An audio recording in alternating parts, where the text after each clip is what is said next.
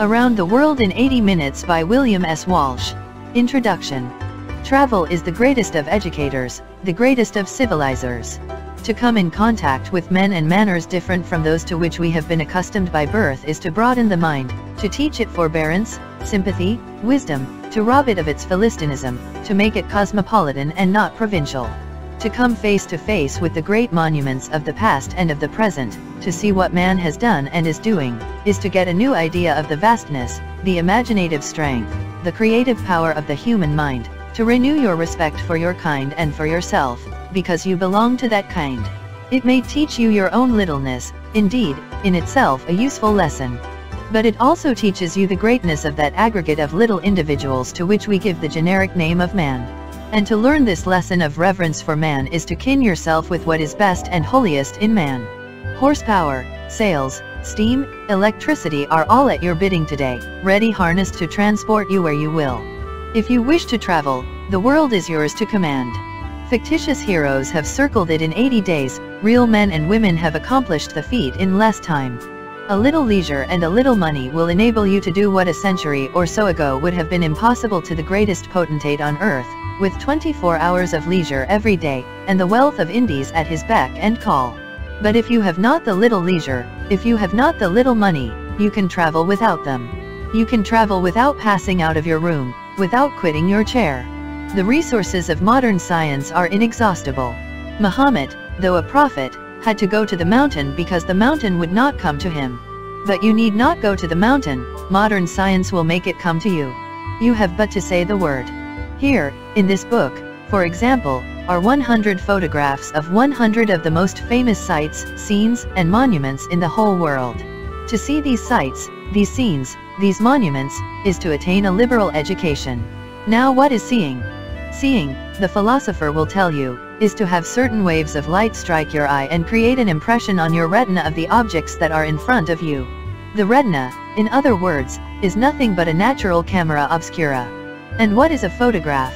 A photograph is a modern invention whereby, by means of an artificial camera obscura, the sun, the author of all light, is cunningly induced to bind upon paper forever the impression made by the actual waves of light set in motion by certain objects. Remember it is not a picture of that object formed by some individual man and blurred by the personality of the individual who made it. It is the actual sight, the actual scene, the actual monument, or what not, just as it would have met your natural retina if you had been there, and simply reflected from the artificial retina into your natural one. The sun is the true realist faithful, literal, exact. Would we not cheerfully exchange Giotto's portrait of Dante for a photograph by Sarony, had Sarony and his camera existed in Dante's day, or Wagner's chariot race for an instantaneous photograph of the great Colosseum, with its surging crowds of humanity? The men and women in Wagner's masterpiece are vivid and lifelike, as types they are faithful and exact, but the instantaneous photograph would give you the very outer form and semblance, the body, and almost the soul, of individuals who had once lived who are now once again living before you. Savages are said to shrink from being photographed, deeming that a part of themselves passes into the picture, and the superstitions of savages are metaphors in which civilized men read a poetical hint of the truth. Here, then, are 100 of the greatest of human monuments and the most magnificent of earthly scenes brought into your very presence by the witchery of modern science.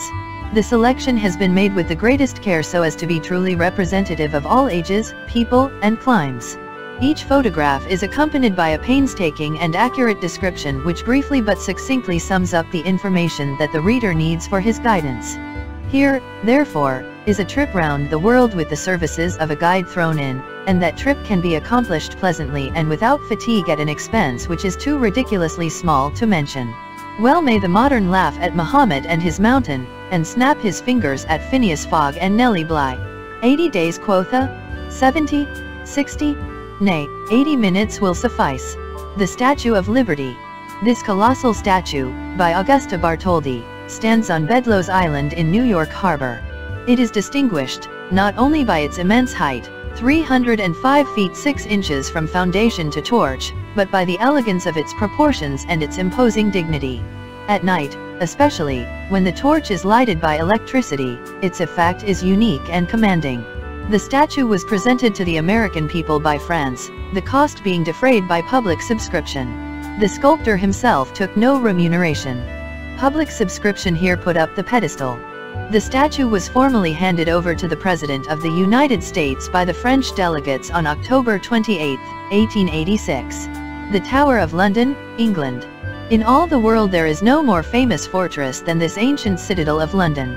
Situate in the oldest portion of the city, on the north bank of the Thames, it at once arrests the attention of every stranger in the English metropolis. Tradition ascribes its erection to Julius Caesar, but tradition is unsupported by historical evidence, and at the most it is only conjectured that the Romans had a fortress on this site. It may be stated authoritatively, however, that the keep or White Tower, so named because it was formerly whitewashed, which is now the oldest extant portion of the citadel, was built by William the Conqueror. As the council chamber of the ancient kings of England, and subsequently as a prison of state for political offenders, its glory and its shame are part and parcel of the glory and the shame of all England. Some of the most momentous events in the history of the country were enacted within its walls. From an early period it has been the depository of the ornaments and jewels of the crown. Westminster Abbey, London. This is the supremely interesting spot in all London. Its exquisite architecture would alone ennoble it. But as the sepulchre of sovereigns, heroes, statesmen, authors, and poets, as the scene of some of the most hallowed events in English history, it makes an even more serious appeal to the imagination. Its very history is involved in becoming mystery. Tradition asserts that on this site Sebert, king of the Saxons, built a church and dedicated it to Saint Peter. More authentic history ascribes its inception to Edward the Confessor, who designed it for his own burial place. Hence, other royal interments followed. William the Conqueror was crowned here within a few yards of the Confessor's tomb, and every succeeding sovereign of England has followed his example. It also has continued to be the favorite spot for royal weddings and funerals. As it now stands the abbey was for the most part rebuilt by Henry III. Henry VII added the famous chapel which bears his name, and the two towers on the front were placed there by Christopher Wren. The Poets' Corner in the south transept contains tombs or monuments in honor of many of the most famous of English literary worthies. St. Paul's Cathedral, London. This, the Metropolitan Church of London, is one of the largest and, without exception, the most conspicuous of its edifices. Built on a slight eminence, which is said to have been anciently occupied by a temple to Diana, it is the last of a series of Christian churches that succeeded to the pagan temple. The first, founded about 610, was destroyed by fire in 1087. The second succumbed to the Great Fire of 1666. The present church was begun June 21, 1675, and was finished in 35 years, under one architect, Sir Christopher Wren. The whole cost, £747,954, was paid by a tax on every chaldron of coal brought into London. The structure is 550 feet from east to west by 125 feet in width. The front is 180 feet wide, and the top of the cross is 400 feet from the crypt floor. Carlyle said of it that it was the only edifice that struck him with a proper sense of grandeur. Houses of Parliament, London, England. This is the largest, and in some respects the most imposing, of all the public edifices in England. Gothic in style, in size, at least, it surpasses any other Gothic building in the world. And in respect to its equipments and the excellent adaptation of every part to the purposes for which it was erected and for the transaction of the business to which it is consecrated it is absolutely unrivaled. Both houses, Lords and Commons, meet within its walls. Yet it is a comparatively modern structure. Occupying the site of the royal palace, dwelt in by every English monarch from the time of Edward the Confessor to Queen Elizabeth, the cornerstone of the present building was not laid until April 27, 1840. It covers about 8 acres of ground, and has four fronts, the longest and most effective of which, facing the River Thames, is 940 feet long. The Victoria Tower at the southwest angle, which is about 340 feet high and admirably proportioned, is one of its most effective features. Bank of England, London. This, the most celebrated moneyed institution in the world, is situated on Threadneedle Street. Hence, it is sometimes facetiously alluded to as the Old Lady of Threadneedle Street. It has a branch in the West End of London and nine branches in the provinces. It was founded July 27, 1694, as a joint stock association, with a capital of £1,200,000, which was lent at 8% interest to the government of William and Mary. And as it began as a servant of the government so it has continued. At the present moment it has the management of the public debt and the paying of interest thereon, it holds the deposits belonging to government and aids in the collection of the public revenue. It is the bank of all the other banks in England. Its notes are legal tender, and are convertible into coin. Its credit and reputation have been absolutely unequaled by any other establishment of the sort. Hence, the recent discovery of a deficit of £5 million shook the financial world to its centre. But the bank has been able to meet the emergency. Mansion House, London, England. The Lord Mayor of London has his official residence at the Mansion House. It is situated nearly opposite the Royal Exchange, on the site of the ancient stocks market, was begun in 1739 and finished in 1741. In its great banqueting hall, known as the Egyptian Hall, are given the state banquets. Formerly it was the ambition of every great London merchant and banker to become Lord Mayor but since the district actually under his jurisdiction has come to be a very small part of what is known as London, the importance of this functionary has greatly diminished in the eyes of all save foreigners. As the dispenser of civic hospitality he receives £8,000 a year, with the use of the mansion house, furniture, carriages. London Bridge, London, England. This is not the London Bridge of Shakespeare's time, for that was a wooden structure, lined with houses on either side. The present London Bridge is substantially built of granite on the site of the older one.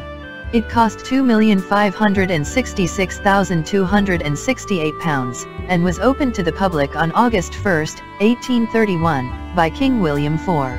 There are five arches, the central one having a span of 152 feet. The entire length is 928 feet and the width 54. A curious interest attaches to the lamp posts along the side, which are cast from the metal of French cannon captured in the Peninsular War. The constant stream of traffic that pours across this bridge is prodigious. It is estimated that every 24 hours no less than 20,000 vehicles and 107,000 pedestrians are borne along in the opposing currents. Trafalgar Square, London. The Battle of Trafalgar, 22d October, 1805, was won over the combined French and Spanish fleet by the English, under Lord Nelson, who lost his life at the very moment of victory. One of the finest open places in London is named after the conflict. In the center a massive granite column, 145 feet in height, rises to the memory of the great admiral, whose statue surmounts it. The pedestal is adorned with reliefs in bronze, cast with the metal of French captured cannon, and representing scenes in the career of Nelson. Four colossal bronze lions, modeled by Sir Edwin Landseer, in 1867, crouch upon pedestals running out from the column in the form of a cross. The square is paved with asphalt. Statues of Sir Henry Havelock, of Sir Charles James Napier and of George IV are distributed around it. Towards the north side are two fountains, and on the terrace to the north rises the National Gallery, with the interesting old church of St. Martin in the fields by its side. Thames Embankment, London, England. At an early period the banks of the Thames River had many wide stretches of marshland, covered by shallow lagoons. From time to time embankments have been erected, some of them dating from the time of the Romans. The greatest of all these works is the new Victoria Embankment, leading from Blackfriars Bridge towards the west, along the north bank of the Thames as far as Westminster. Built in 1864-70, under the direction of Sir Joseph W. Bazalgette, it cost nearly $10 million. It consists of a macadamized carriageway about 2,300 yards in length and 64 feet wide. The foot pavement on the land side is 16 feet broad and on the river side 20 feet. This entire area was formerly covered by the tide twice a day. A granite wall 8 feet thick protects it on the side next the Thames. Rows of trees have been planted along the sides of the embankment, which will eventually make it a shady and delightful promenade. At intervals are large openings, with stairs leading to the floating steamboat piers. It is illuminated at night by electricity. Kenilworth Castle, England. One of the stateliest of feudal remains in all England is this ruined castle, situated on rising ground to the west of the village of Kenilworth. Picturesque in itself, Famous as it is in history, it yet derives its chief charm from the glamour thrown over it by Walter Scott in the novel which he has named after it. Kenilworth Castle first takes a prominent position in history as one of the strongholds of Simon de Montfort, Earl of Leicester, in his rebellion against Henry III. Subsequently it passed into the possession of John of Gaunt, who enlarged and beautified it. But its highest fame results from the fact that Queen Elizabeth bestowed it upon her favourite, Robert Leicester, Earl of Dudley, and it was here that Amy Robsart ended her unhappy life. Cromwell dismantled the castle. Since his day it has suffered much from the ravages of time, but even in ruins it retains a potency to delight and to impress. Warwick Castle, England. Beautiful in itself, famous as the residence of the Earls of Warwick, and especially of him who went by the title of the Kingmaker, Warwick Castle is one of the most notable edifices in England. Nothing could be more picturesque than its situation on a rock washed by the Avon. Its two towers are surpassingly beautiful. The one known as the Clock Tower is here represented. Its battlements and turrets are full of quaint interest. The grounds which surround it are a triumph of landscape gardening and the castle itself is almost a thousand years old. Legend declares that it was founded in 915 by the daughter of King Alfred, Ethelfleda. In the war with the barons in the reign of Henry III it was partially destroyed. In the reign of Edward III it was restored and strengthened. Additions and improvements have successively been made. In the reign of James II it passed into the hands of the Grevilles, and has remained their property ever since. Windsor Castle, England the favorite residence of the English sovereigns, which distinction it merits through its own beauty, the beauty of its surroundings and its opulence of historical and legendary associations. Long before the Normans landed in England it was the seat of the Saxon kings.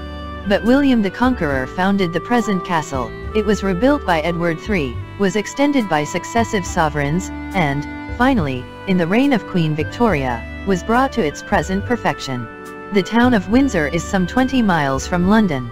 On a promontory, overlooking the valley of the Thames, stands the castle. Its chapels and its terrace are among the noblest in Europe. The interior is lavishly decorated, and contains valuable paintings, statuary, furniture, tapestries, and plate. In its vaults lie the bodies of the kings and queens of England. Shakespeare's house, Stratford-on-Avon, England. The birthplace of genius must always be full of interest to his fellow men. How great then must be the interest in the birthplace of the greatest of geniuses. That interest is attested by the fact that the walls of the small, mean-looking edifice in which Shakespeare was born are scrawled all over with the names of potentates, princes, statesmen, poets, and other great and little men. These, indeed, form a not insignificant part of the curiosities of the place.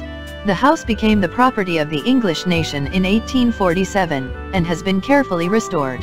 The actual room which witnessed the birth of the poet is shown, and is in substantially the same condition as when that event took place. In another room there is a small museum of Shakespearean relics. Osborne House, Isle of Wight, England. This is the seaside residence of Queen Victoria. Even in the Isle of Wight, a place famous for its magnificent private residences, it occupies a preeminent position. Situated in the immediate neighborhood of East Cowes, almost opposite to the mouth of Southampton Water, no place could be more favored by nature in its surroundings, and art has come to the assistance of nature. The grounds, though not large, are exquisite specimens of that princely art of landscape gardening in which the English have achieved the highest success. The palace itself is in excellent taste. A high tower in one corner is a conspicuous object for miles around. From its summit a magnificent view of the surrounding country may be obtained. Blarney Castle, Ireland. This imposing ruin of an ancient fortress is situated in the village of Blarney, about 4 miles from Cork. It was built in the early part of the 15th century by Cormac McCarthy, Prince of Desmond. Little now remains of it but the massive dungeon tower, 120 feet high. Its main celebrity arises from the famous Blarney Stone, which endows whoever kisses it with the gift of flattery, palavering rhodomontade, or wheedling eloquence. No one exactly knows the origin of the stone, nor whence it derived its mysterious powers. The date 1703 is carved upon it. It is preserved and held in place by two iron girders between huge merlons of the northern projecting parapet nearly 100 feet above the ground. To kiss it has been the ambition of many generations who laboriously climb up to its dangerous eminence. but the lip service of so great a multitude is gradually wearing it away. Lakes of Killarney, Ireland. These are three connected lakes in County Kerry, of extraordinary beauty and interest. The largest, known as Lough Lean, is 15 miles long by 3 broad. It contains some 30 islands, the chief of which is Innisfallen, celebrated in history and story. On the sides of these lakes rise the loftiest mountains in Ireland, intersected by the wildest ravines, and full of the boldest cascades. The beauty of the scenery is enhanced by the varied coloring of the thickly wooded shores, the grey rock forming an effective contrast to the dark firs, the brown mountain heath, the light green arbutus and other features in an infinite variety of foliage and verdure. In the immediate neighborhood of Lough Lean is Muckross Abbey, founded by Franciscan monks in 1340, now a most picturesque ruin. Giant's Causeway, Ireland. A singular mass of basaltic columns, situated on the coast of Antrim, Ireland, has obtained this name from the legend that it was the commencement of a road planned by the giants of old to project across the channel from Ireland to Scotland. And, indeed, it looks almost like a deliberate work of mightier men than we rather than a frolic of nature. It resembles an immense pier jutting out into the sea from the base of a stratified cliff about 400 feet high, to the length of about 700 feet. The pillars composing it are close-fitting, dark-colored, and somewhat irregular hexagons, varying in diameter from 15 to 20 inches and sometimes reaching the height of 20 or even 30 feet. Whinstone dikes separated into three divisions, known as the Little Causeway, the Middle, or Honeycomb Causeway and the Larger or Grand Causeway. Altogether, it comprises about 40,000 columns, each consisting of several pieces. Edinburgh Castle, Edinburgh, Scotland. Picturesquely situated on a rocky eminence, 383 feet high, in the very heart of the old portion of Edinburgh, is this ancient fortress. The rock is perpendicular on three sides. On the fourth it slopes away gradually so that it can be ascended with ease. The fort is supposed to have been erected in the 7th century, the city gradually growing up around it. In early Scottish history it was frequently captured by and recaptured from the English. In the 12th century it became a royal residence. By the Articles of Union it is one of the four fortresses which are to be kept constantly fortified. It contains accommodations for 2,000 soldiers, and its armory affords space for 30,000 stands of arms. The Scottish regalia are preserved here, and one of the chief objects of interest is the room where Mary, Queen of Scots, gave birth to James VI, in whom the crowns of England and Scotland were united. The picture is taken from the parade ground. Holyrood Palace, Edinburgh, Scotland.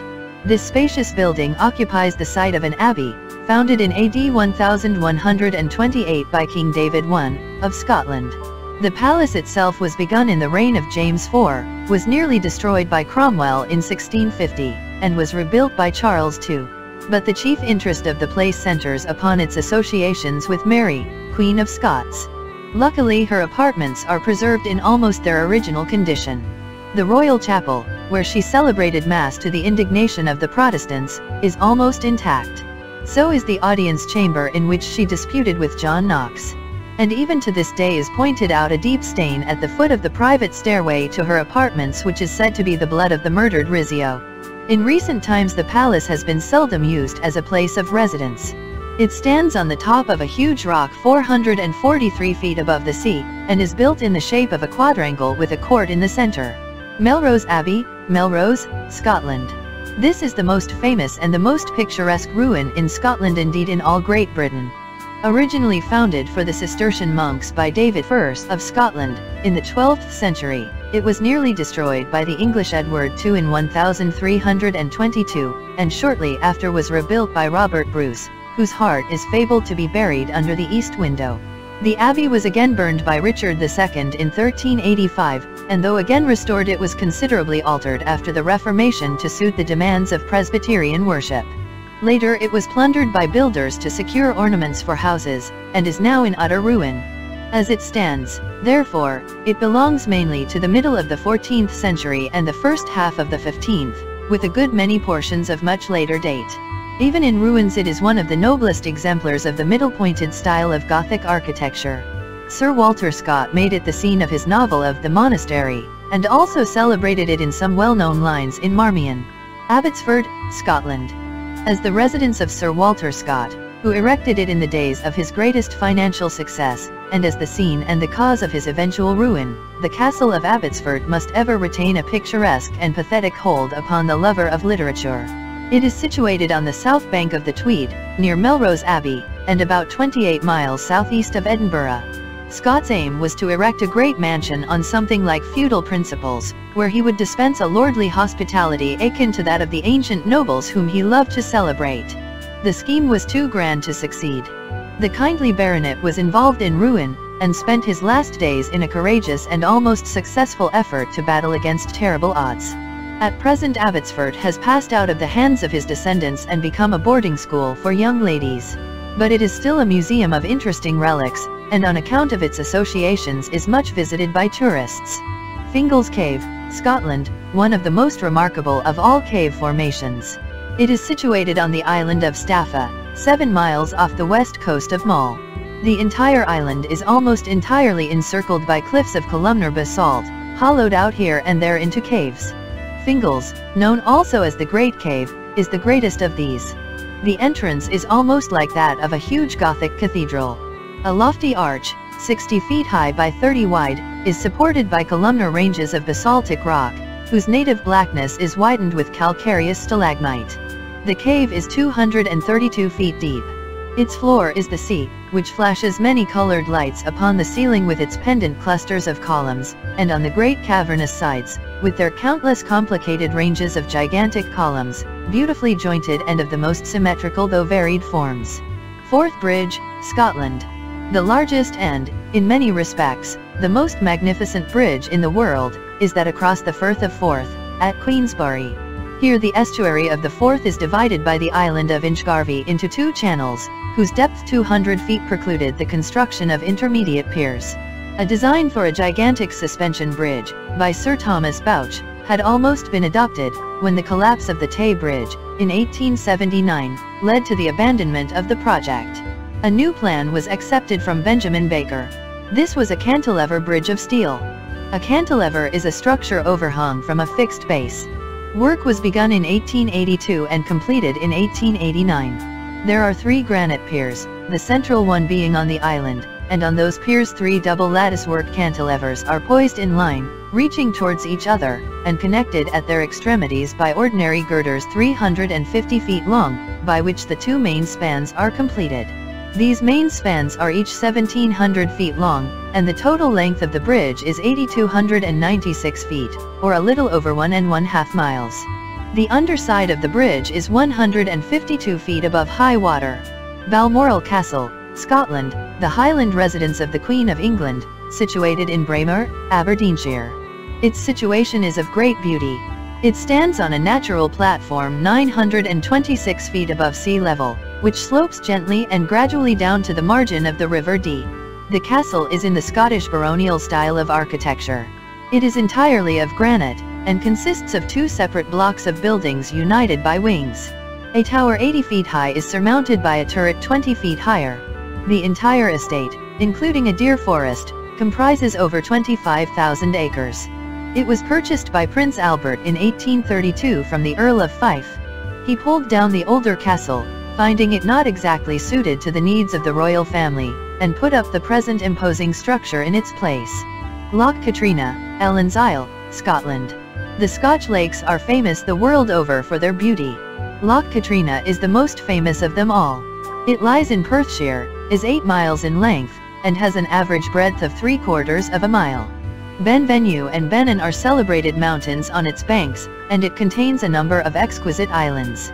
Among the latter is Ellen's Island, chosen by Sir Walter Scott as the scene of The Lady of the Lake. Wordsworth and other poets have thrown the glamour of their genius around Loch Katrine. But it has a more practical use.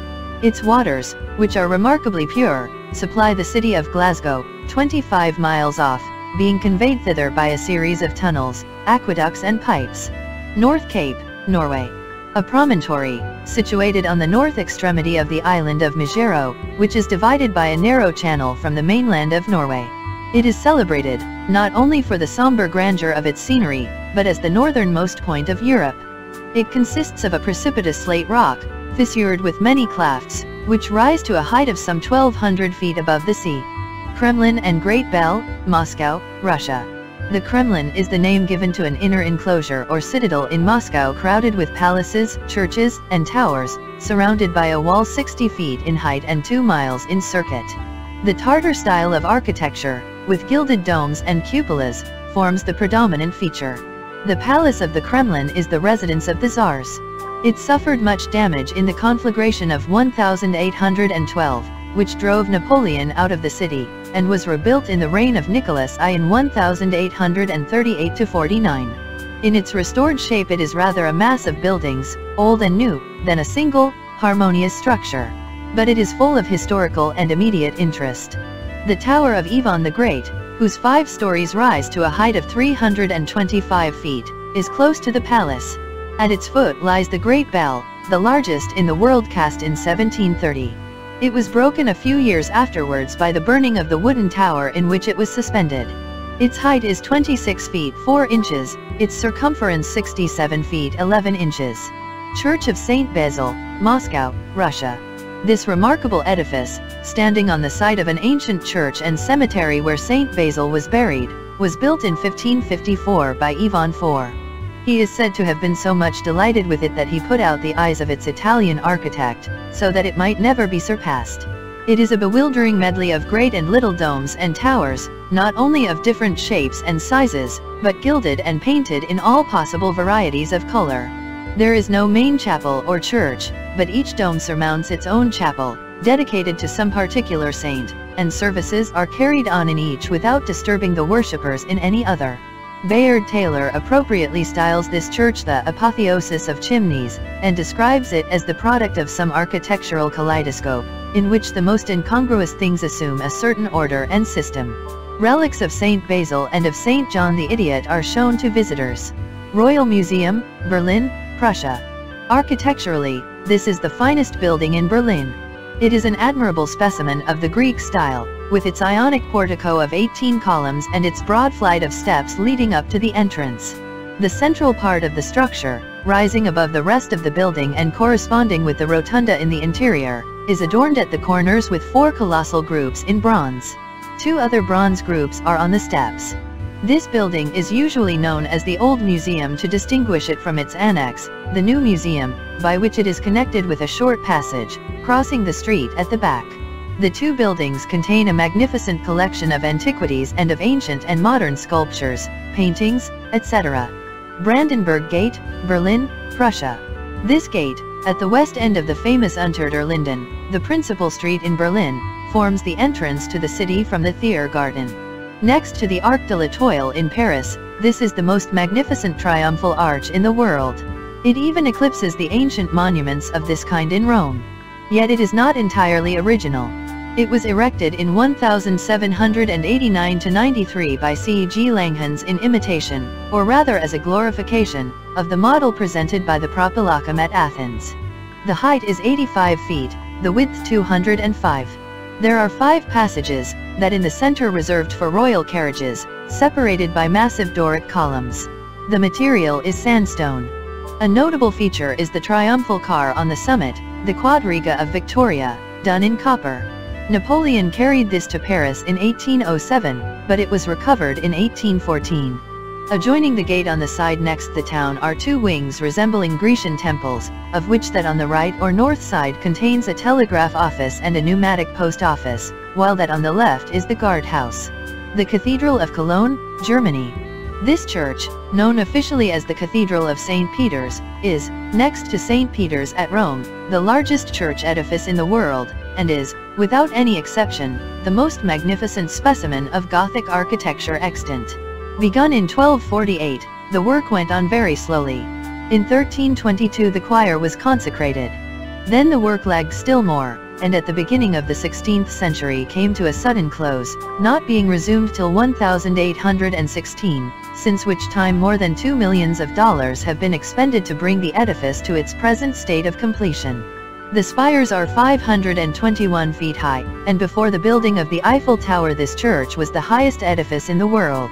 The height of the roof inside is 145 feet, the length of the building is 444 feet and the breadth 201. The choir is rich in statues, frescoes, and fine carvings. A chapel, known as the Chapel of the Three Kings, contains a gorgeous shrine, in which are exhibited the skulls of the three wise men who came from the east with presents for the infant Savior. Heidelberg Castle, Germany. On a height above the city of Heidelberg are the ruins of this old-time palace and fortress. Founded by the Elector Rudolf in the 14th century, and altered and added to by his successors, it partakes of the architectural style of all the three centuries. The French sacked and partially burned it in 1693, it was subsequently restored, but being struck by lightning in 1764, it has since been suffered to remain in ruins. As such it is one of the most magnificent remains of the Middle Ages a square massive building, roofless, with a round tower at one end and an octagonal one at the other. Some idea of its strength may be gained from the fact that the walls of the round tower are 22 feet thick. In one of the cellars is the famous Tun of Heidelberg, a huge copper reservoir, bound with iron hoops, whose capacity is 49,000 gallons. Ehrenbreitstein, Germany. This fortress, whose name signifies the broad stone of honor, is situated on a precipitous rock 377 feet above the Rhine, just opposite Koblenz. The rock is known as the Gibraltar of the Rhine. The ancient Romans recognized its commanding position and erected here a castrum or camp. In 1018 the Franconian king, Dagobert, presented it to the bishops of Treves, who made it their stronghold. It has successfully resisted many sieges, but was twice captured by the French, first in 1631 and again in 1798. After the Peace of Luneville in 1801 they blew it up. Restored to Prussia with the Peace of Paris, the French were forced to contribute 15 million of francs to place it in its former condition. At present it is defended by 400 cannon, and 50,000 stands of needle guns are stored in its armory. It is capable of accommodating 100,000 men, but 5,000 are sufficient to man it properly. The summit of the rock commands a magnificent view of the surrounding country. A bridge of boats connects the village of Ehrenbreitstein with Koblenz. The Cathedral of Antwerp, Belgium. Though inferior to the Great Minster at Cologne, the cathedral at Antwerp is an exquisite and notable specimen of Gothic architecture. It is unfortunately situated in a narrow street, just away from the place Saint Antoine, and is hedged in by shops, which are backed up against its very walls. It is unfinished, only one of the towers being complete. The other is but halfway up, where it has been capped over, and has remained so for centuries. Nevertheless, nothing can detract from the majesty of the church itself. Out from the littleness of its surroundings it calmly rears its splendid front. Its solitary tower soars upward to the height of 403 feet, with delicate open arches that look like fretted work, so that Napoleon said, it looked as if made of Mechlin lace. The chimes of 99 bells are deservedly famous. The interior is glorified by the presence of Rubens' two greatest pictures, the Elevation of the Cross and the Descent from the Cross. Begun about the middle of the 13th century, it suffered seriously from fire in the 16th century, and the greater part of the present edifice dates from that period. In the foreground of the picture is the monument to Rubens. Palais de Justice, Brussels, Belgium. The new Palace of Justice, or courthouse, in Brussels, is the largest architectural work of the present century, and one of the most magnificent. It was begun in 1866 and completed in 1883 at a total cost of $10 million. It is splendidly situated on a height commanding a view of the whole city. This massive pile covers an area of 270,000 square feet, considerably more than St. Peter's, at Rome, and is 590 feet long by 560 wide. The avowed aim of the artist was to accommodate Assyrian form to modern requirements. Above the main body of the building rises another rectangular structure, surrounded with columns, this, in turn, supporting a columned rotunda, the whole crowned by a dome which is 400 feet above the pavement. In details the Greco-Roman style has been generally adhered to, with an admixture of Rococo treatment. Field of Waterloo, Belgium. The scene of the greatest battle of modern times, if not of all times, is necessarily of perennial interest to the world. It is a matter for rejoicing, therefore, that the field of Waterloo is retained in much the same condition in which it was left on the fateful day of June 18, 1815, when the power of Napoleon was crushed by Wellington and Blucher. To be sure, Wellington is reported to have said, You have spoilt my battlefield, when he saw the artificial mound surmounted by a Belgic lion of cast iron, which has been raised in the center of the field. But at least its 150 feet of height afford the opportunity for an excellent bird's-eye view of the entire field. And the old house of Hougoumont, whose building and orchard were occupied by the British Guards, and where some of the fiercest fighting of the day was carried on, remains as it was, with the bullet holes in the walls and other damages unrepaired. The monument represented in the foreground is dedicated to the soldiers who fell in the battle. Notre Dame, Paris. The Cathedral of Notre Dame, one of the great historical churches of the world and one of the most beautiful specimens of medieval architecture, was founded in 1163 on the site of an earlier church, was consecrated in 1182 and was completed in 1420.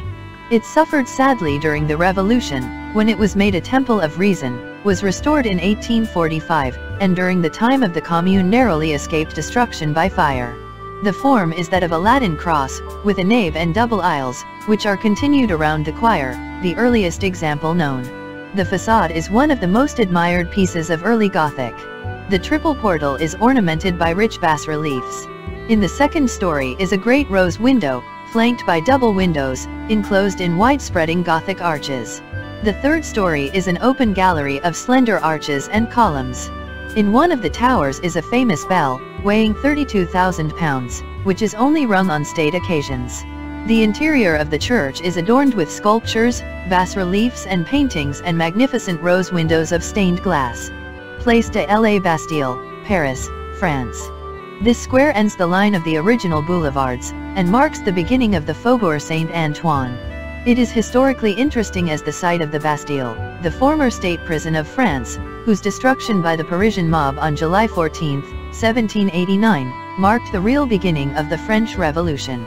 The column in the middle, known as the Colonne de Juillet, was reared in 1831 in honor of the citizens who fell in the Revolution of July, 1830, which drove Charles X from the throne and put Louis Philippe in his place. The names of 615 of these are inscribed upon the sides of the column, and their ashes, together with those of combatants in the Revolution of 1848, repose in two vast sarcophagi in the vaults below.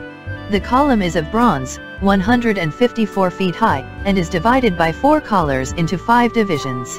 Bas-reliefs, by Barye, adorn the exterior. Inside there is a spiral staircase, also of bronze. The top is surmounted by an emblematic figure of liberty, in gold bronze, the work of Dumont. Place de la Concorde, Paris, France. This square, situated between the Rue Royale and the Pont de la Concorde, is perhaps the most beautiful and effective in all Paris. It dates from the year 1748. Originally it was adorned with a statue of Louis XV, which was pulled down in 1792 to make way for a colossal figure of liberty. The place was then called Place de la Révolution. It was here that next year the guillotine was erected, upon which perished Louis XVI, Marie Antoinette and nearly 3,000 of their adherents. Under the Directory the Statue of Liberty was removed and the great place became the Place de la Concorde. Since then it has undergone many alterations. It was laid out as it now stands by Napoleon III. In the middle is the great obelisk of Luxor, presented to Louis Philippe by Mehemet Ali, and on each side are two large fountains. At the different corners of the square there are seated figures, representing eight different towns, formerly the chief towns of France. But one of them, Strasbourg, is now a portion of Germany. Place Vendôme, Paris. A handsome octagonal square, between the Boulevard des Capucines and the Tuileries Gardens. It was designed by Louis XIV, in 1686, to contain public buildings, such as the Mint, the Royal Library, the various academies, and c. This plan was subsequently much modified. The buildings, which are of Corinthian architecture of a severely uniform appearance, are mainly occupied by banks and other fiscal institutions. A grand equestrian statue of Louis XIV once stood in the center of the square, but it was destroyed in 1792, and in 1806 its place was taken by the famous Vendôme column, a stone shaft 143 feet high, covered with the medal of cannon taken from the Prussians and Austrians. It is surmounted by a statue of Napoleon, and is ornamented by bas-reliefs commemorative of that hero's campaign in 1805. In 1871 column and statue were both pulled down by the Commune, but the Republic under Thiers repaired and replaced them. The Garden of the Tuileries. The Tuileries is but the remains of its former glory. The main front of the building was burned by the Commune in 1871, and after remaining a picturesque ruin for some years was at length removed. The wing nearest the Rue de Rivoli shared the fate of the front, but was rebuilt, together with the Pavillon de Marsan, which formed the angle. The Pavillon de Flore, at the other end, suffered much less, and had only to be restored. Both wings, and, indeed, the entire building, are a marvel of exterior ornamentation. Before the revolution the Tuileries was only the occasional residence of the French sovereign, but Napoleon made it his principal abode, and his example was followed by his successors. The picture is taken from the exquisite gardens of the Tuileries facing the Place de la Concorde. Arc de Triomphe, Paris, France. This, the distinctive triumphal arch of Paris, is more specifically known as El Arc de l'Étoile, to differentiate it from three other triumphal arches of less celebrity. It stands at the west end of the Avenue de Champs-Élysées on the summit of a slope, which makes it visible from all parts of Paris and the environs. It is not only the largest arch in existence, but the most magnificent ever erected. Begun by Napoleon in 1806, to commemorate the wars of the Revolution and of the Empire, it was completed 30 years later by Louis Philippe. The total cost was about $2 million. The height of the arch above the ground is 152 feet, its width 138 feet, its thickness 68 feet. The main archway measures 90 feet in height and 45 in width, the smaller lateral archways are each 57 feet by 25. The bas-reliefs represent the most famous events of 1792 to 1815. Finest of all are the two colossal groups on each side of the central arch facing the Champs-Élysées, cut in full relief and representing the departure of the troops in 1792 and the triumph of Napoleon after the Austrian campaign.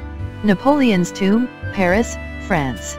Under the splendid dome of the Church of the Invalids, in a huge circular crypt below the level of the floor, is the tomb of the great Napoleon I. The sarcophagus, hewn out of a single block of granite brought from Finland, was the gift of the Emperor Nicholas, when in 1841 the remains of the emperor were brought back from St. Helena by the Prince de Joinville. The crypt is adorned with marble reliefs symbolical of Napoleon's reforms and with 12 colossal figures of victory and 60 mouldering banners captured from the enemy. There are also monuments to Vauban and Turenne, Napoleon's most illustrious predecessors in the field. At the entrance to the crypt lie the bodies of Bertrand and Duroc, the near friends and companions of Napoleon. The monuments or the remains of various members of the Bonaparte family are in the upper part of the church. Chamber of Deputies, Paris, France. This is sometimes called the Palais Bourbon. It is the seat of the French Parliament. It is a large classical building on the left bank of the Seine, facing the Pont de la Concorde. The old facade was in the Rue de l'Université at the back, the new one, with its Corinthian colonnade, was erected in 1804. The hall is a semicircular room, with the president's chair facing the extremity of the half-circle. Here sat the Council of 500, Louis Philippe's chamber and Napoleon III's corps legislative, and here at present sit the deputies elected from the various districts of the French Republic. Orators address the chamber from the tribune, which is placed immediately under the president's chair. Voting is done by means of white or blue cards, placed in tin receptacles that are handed round by the ushers, the white being an aye, the blue nay. Theatre de l'Opéra, Paris. The new Opera House, in Paris, is the handsomest, though not the largest, temple of amusement in the world. It will hold 2100 people, while La Scala, in Milan, holds 3000. The stage, however, in cubic and superficial area, is the largest known.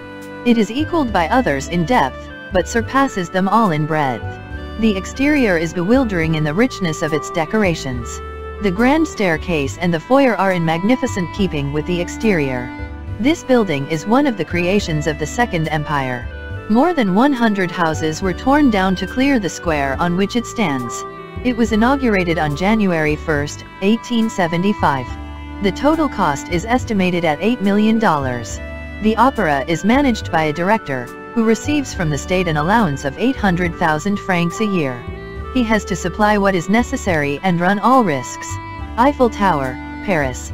This is the highest structure in the world, being 300 meters or 984 feet in height, as against the 555 feet 5 and 1 8 inches of the Washington Monument, which comes next in altitude among all the edifices of man. The tower was constructed by Alexander G. Eiffel for the Paris exhibition of 1878. Its foundations are sunk to a depth of 50 feet in the sandy soil of the Champs de Mars, and the four massive piers, which form the first stage of the tower, are so planted as to distribute the enormous weight of the structure, 6,500 tons, in the best way possible. In spite of this weight the general impression is one of grace and lightness. The summit is crowned by a cupola with an exterior balcony, whence a magnificent panorama of Paris and its surroundings is unveiled. Elevators carry passengers up to the summit, the time consumed by the ascension being from 6 to 7 minutes. Trocadero, Paris, France. The Eiffel Tower is not the sole remaining monument of the French Exposition of 1878. Overlooking the Champs de Mars is the Trocadero, which was begun in 1876 for the same exhibition. It is a fantastic structure in the Byzantine style. The central portion consists of a circular edifice 180 feet high and 189 feet in diameter, crowned by a dome, and flanked with two minarets 270 feet high. On each side extends a wing in the form of a curve, 660 feet in length, giving the entire edifice the appearance of an imposing crescent. On a level with the spring of the dome is a terrace adorned with 30 statues. The view of Paris from the terrace or the towers is superb. Below the balcony, in front of the central building, gushes a large cascade, which descends to a huge basin 196 feet in diameter. Afternoon concerts are often given in the elaborately decorated Salle des Fêtes, which seats 6,000 persons. There are also collections of sculptures and antiquities. Château de Fontainebleau, France. Fontainebleau is a small town 35 miles southeast of Paris. It is famous for the Royal Palace, which is situated in a magnificent park or forest, 50 miles in circumference, and covering an area of 42,500 acres. The building itself is said to occupy the site of a fortified chateau, built by Louis VII in 1162. But it was Francis I who transformed the medieval fortress into a palace of almost unparalleled extent and magnificence. Henry IV did much towards its embellishment. Here his successor, Louis XIV, revoked the Edict of Nantes. It was a favorite residence of Napoleon I, whose sentence of divorce from Josephine was pronounced here. Louis Philippe and Napoleon III spent large sums in restoring it. The exterior of the building, with the exception of several pavilions, is only two stories in height. The interior is a splendid example of decorative work. Some of the greatest French and Italian artists of the epoch of its creation were employed upon it. Especially beautiful is the chamber of Anne of Austria, the mother of Louis XIV, and Queen Regent in his minority, who made Fontainebleau her favorite residence, and spent money lavishly in the decoration of her chamber. Garden and Fountains, Versailles, France. The Palace of Versailles is in the town of the same name, 10 miles from Paris, was built by Louis XIV in 1661, and became a royal residence in 1681. As such it has held a great place in the history of France. It is now used as a historical museum. The garden which surrounds it is justly celebrated for its extreme beauty. Among its chief marvels are the fountains, richly adorned with bronze statues, and from the center of each rises a column of water to the height of 40 feet, encircled by 16 inclined jets of water, the whole forming a sort of basket. The water which feeds the fountains is brought from the Seine by the machine of Marly, constructed at enormous expense after the failure of the plan to turn the river Dieure from its course. Grand Trianon, Versailles, France. A charming residence near the Palace of Versailles, built by Louis XIV in 1688 for Madame de Maintenon, but chiefly interesting for its associations with Marie Antoinette, whose favorite residence it was. Here she amused herself with her Swiss village, and here, as well as in the adjacent Petit Trianon, she and her court played at shepherds and shepherdesses. The Grand Trianon is built in the Italian style, with the rooms all on one floor. The interior is exquisitely furnished and adorned. In the surrounding gardens are cottages and artificial mountains, some nearly 10 feet high, and glens and grottos and pebbly-bottomed brooks. Bullfight, Seville, Spain. The bullfight is the national sport of Spain. The sport has been described as a tragedy in three acts. First, the bull is let out and goaded to fury by the lances of the mounted picadors. If a picador is thrown or his horse is wounded the chulos rush in and attract the bull by waving their cloaks in front of him, saving themselves, if need be, by leaping over the palisade which encloses the circus. When the bull begins to flag the chulos attack him with barbed darts, called banderillas, which they stick into his neck. The third act introduces the matador, who enters alone. He holds in his right hand a naked sword, in his left a muleta or small stick with a piece of scarlet silk attached.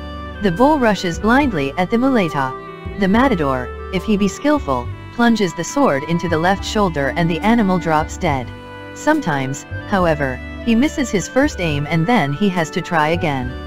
Sometimes he is wounded or even killed and then a new matador appears on the scene. The Alhambra, Granada, Spain. Alhambra means the Red Castle.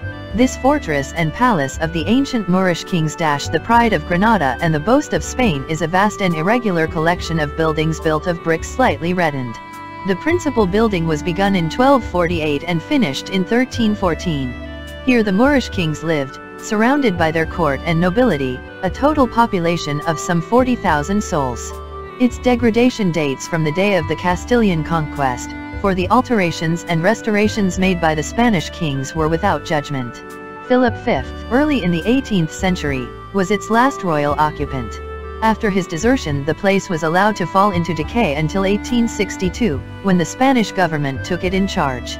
Happily, the most important portions still exist, and present a bewildering array of pavilions, courts, colonnades, fountains, baths, gilded ceilings and every kind of oriental decoration. Cordova, Spain. This is one of the most ancient and picturesque of Spanish towns. Its walls, built on a Roman foundation with Moorish superstructure, enclose a large area, dotted with Roman and Moorish remains. Chief among the latter is the cathedral, which looms up almost in the center of our picture. It dates from the 8th century, and was formerly a mosque. Authorities generally agree that it is the finest specimen of a Moorish mosque in all Europe. The southern suburb communicates with the town by means of an ancient bridge across the river Guadalquivir, whose 16 arches exhibit the usual combination of Moorish and Roman architecture. At one end of the bridge is an elevated statue of the patron saint, Saint Raphael, whose effigy abounds all through the city. Our picture is taken from the southern suburb. Rock of Gibraltar, Spain. An inaccessible rock, buttressed by an impregnable fortress, which juts out from the southern extremity of Spain, in Andalusia, gives to the English, who hold it, the virtual command of the Mediterranean. The rock is 1430 feet high at its highest point, its length, from north to south, about 3 miles, its circumference about 6. It is mainly composed of compact limestone and dense gray marble, varied by beds of red sandstone and tissues of osseous breccia. The north face is almost perpendicular, but the east side is full of tremendous precipices. It came into possession of the English by conquest during the War of the Succession in 1704. Since then they have spent immense sums in its fortification, with so much success that they have retained it against the combined efforts of France and Spain. From the sea the rock presents a grim enough aspect with its immense cannon, its piles of balls and bombs, and its apparent lack of vegetation but a closer view shows patches of fruit trees, together with a great variety of odoriferous shrubs. Monte Carlo, Monaco the casino. Monaco is a small principality on the Mediterranean, ruled by Prince Albert, of Monaco. It is chiefly famous for the notorious casino at the small town of Monte Carlo, where alone in Europe public gaming is authorized by law. The first stone of the casino was laid in 1858 and gambling tables had existed in Monaco two years previous to that date, but it was not till 1860, when M. Blanc, expelled from Hamburg, took possession of the place, that Monte Carlo began to be famous. The gaming establishment is now in the hands of a joint stock company, with a capital of 15 million francs, who leased the ground from the prince. It employs nearly 1,000 people and is annually visited by about 400,000 visitors. The inhabitants of Monaco are not allowed at the tables. Their goodwill, however, is secured by their exemption from taxation and by the flood of paying visitors who are attracted hither. Monte Carlo is in itself a place of exquisite beauty, natural and artificial. Lake Lucerne, Switzerland. Not only in wild and picturesque scenery, but in its legendary and historical associations, this is one of the most interesting lakes in the world. In Switzerland it is alternatively known as the Lake of the Four Forest Cantons, because bounded by the cantons of Uri, Schwyz, Unterwalden, and Lucerne. The mountain peaks surrounding it give it the form of a St. Andrew's cross, whence comes that cross on the Swiss flag. Mounts Pilatus and Rigi stand at the north like sentinel outposts of the Alps. The beginning of the St. Gothard Pass over the Alps is at Flüelen to the south.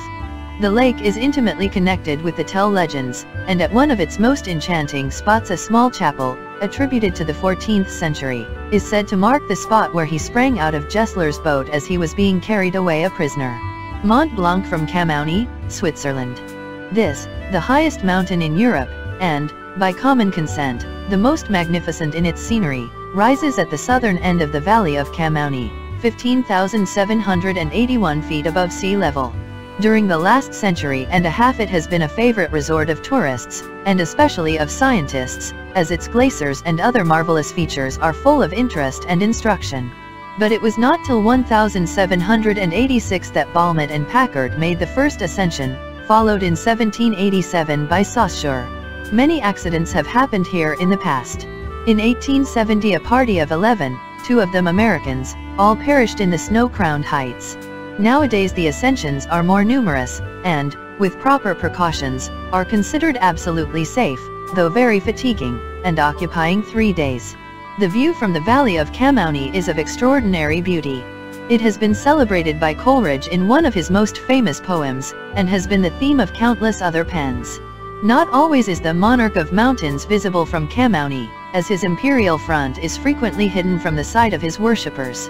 But the photograph here presented is taken on a fortunate day, when there was no cloud about the throne. Mer de Glace, Mont Blanc, Switzerland. This immense glacier fills the highest gorges of the chain of Mont Blanc, and extends over a distance of 12 miles into the valley of Chamouni. It is formed by the masses of snow and ice which collect during the long winters. In appearance it is just what its name implies, a sea of ice, whose tumultuous waves seem to have been suddenly frozen not while they were being lashed to fury by a tempest, but at the very moment when the wind had subsided and left them high indeed, but rounded and blunted in outline. Slowly so slowly that the motion is imperceptible it flows down the inclined plane between two mountains cracking, groaning, and melting until it resolves itself into a torrent, known as the Arveiron. There are other seas of ice among the Alps, but this by preeminence is known as the Mer de Glace. It was in the study of this region that Agassiz conceived his glacial theory. The Matterhorn, Switzerland. This famous alpine height is situated in the canton of Valais, in Switzerland, overhanging the little village of Zermatt. It is 14,705 feet high, and its peak is the sharpest and most acute in all the alpine region, rising like a sort of triangular obelisk into the clouds. Its sides are so precipitous that the snow itself can hardly find a lodgment. For a long period it was deemed inaccessible to man. On the 14th of July, 1865, a party, consisting of Messrs. Hudson, Whymper, and Hadow, with Lord Francis Douglas and three guides, succeeded in reaching the summit, but in the descent Mr. Hudson lost his footing, and all save Mr. Whymper and two guides, who escaped by the breaking of the rope, were precipitated to a depth of 4,000 feet towards the Matterhorn Glacier. The ascent is now made several times annually. The rock has been blasted at the most difficult points and a rope attached to it. Rigi Kulm, Switzerland. The Rigi Mountain, 5,905 feet above sea level, or 4,472 feet above Lake Lucerne, is not one of the highest mountains of Switzerland, but the beautiful and extensive view commanded from the Kulm, or summit, makes it one of the most popular. The famous Riggenbach cogwheel railway brings travelers up to the Kulm, a small, bare space, whence the eye takes in a panorama of 300 miles in circuit. Immediately below lie the lakes of Lucerne and Zug, their shores lined with picturesque little towns. Eight other lakes, including a bit of Zurich, may be counted in the distance. Snow-capped mountains the Jungfrau, the Wetterhorn, the Schreckhorn, the grand snow-covered peaks of the Bernese Alps and countless other peaks of lesser note stretch away on every side to the horizon. The railway up the mountain is of ordinary gauge. Along the center runs a cogged track, into which a cogwheel on the locomotive works, thus giving the power for the ascent. In going down the brakes are worked by atmospheric pressure. The construction of this 5 miles of line, which in its ascent overcomes about 1 mile of altitude, cost about $300,000. Thun, Switzerland. One of the most picturesque of Swiss towns is Thun, which is charmingly situated on the banks of the River, three quarters of a mile below its efflux from the lake. Many of the town's buildings are very old. The castle of Zeringenkaiberg, whose large square tower forms a noted feature of the landscape, dates from 1182. The principal street is curious. In front of the houses projects a row of warehouses and cellars, on the flat roofs of which is the pavement for foot passengers, flanked with the shops. The view here presented is taken from the pavilion in the Bellevue grounds, which overlooks the city, and commands the old-fashioned town, the lake, the Alps, and the valley of Uhr. Jungfrau from Interlaken, Switzerland. The town of Interlaken, as its name indicates, is situated between two lakes, Brienz and Thun, in a valley about 3 miles wide, on either side of which rises a ridge of precipitous mountains 6,000 feet high. The great attraction of the place is not the scenery either way along the valley, but a view that is caught through a depression in the mountains on the southern side, revealing the Jungfrau, Young Maiden, mountain and her attendant galaxy of noble alpine peaks, rearing their snow-crowned heads far above the horizon. The Jungfrau is the most imposing eminence in all the Bernese Alps. Surrounded by stupendous precipices, her surface is broken by valleys, ravines, and glaciers, which from a distance look like creases in the mantle of snow that covers her enormous flanks. The first ascent of this mountain was made on August 3, 1811. Kursalon, Vienna, Austria. This handsome structure, in the Italian Renaissance style, was put up in 1865-67. With its surrounding gardens, it forms one of the most attractive spots in the city. Concerts are given here on Sundays and Thursdays, when large crowds are always sure to attend. Cathedral, Milan, Italy. The Milanese look upon this church as the eighth wonder of the world. In truth, it is a marvelous edifice. Gothic art, as Taine says, here attains its triumph and its extravagance. Nowhere else is it so pointed, so complex, so highly embroidered, so full of delicate detail. It differs from most Gothic cathedrals in being built, not of dark stone, but of beautiful, lustrous white Italian marble. Begun in 1386, it was not fully completed until 1805, at the direction of Napoleon. The design is said to be taken from Monte Rosa, one of the loftiest peaks of the Alps. Its 98 sculptured pinnacles, rising from every part of the body of the church, certainly bear a striking resemblance to the splintered ice crags of Savoy.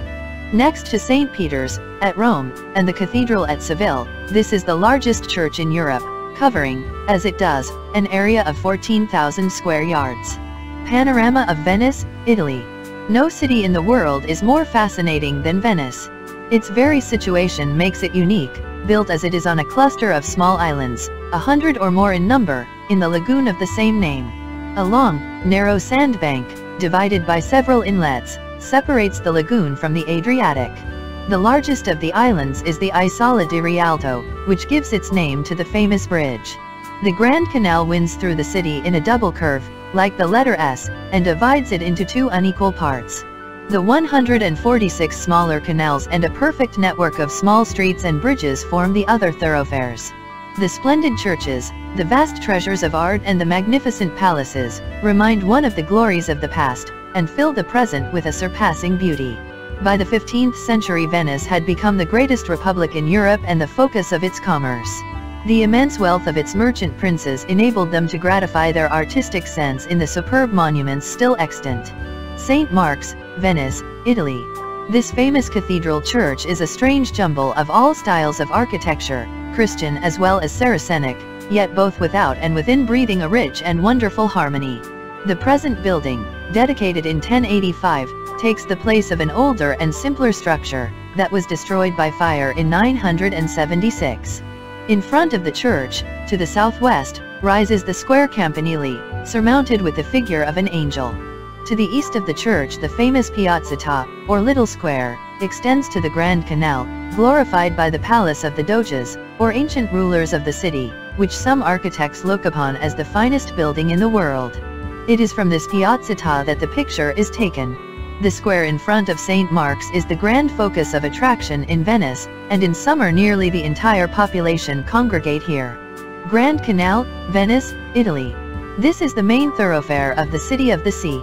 On either side of its serpentine length it is lined by marble-fronted palaces, whose very names awaken a thrill of historic or romantic recollection.